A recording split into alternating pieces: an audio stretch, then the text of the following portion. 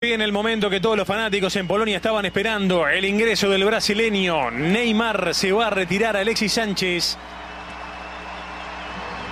La más reciente contratación del Barcelona, el que vino del fútbol de Brasil, el campeón de la Copa Confederaciones, Neymar está oficialmente sobre el terreno de juego con la camiseta del Barça. Y ahí está el momento que todos estábamos esperando. Neymar hace su debut aquí por la pantalla de Bein Sport.